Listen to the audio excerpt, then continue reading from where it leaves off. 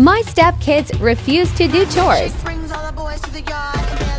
They said they will only clean their room if I give them candy. I don't have any more candy at home though. So I had to come up with this. I hope this does the trick.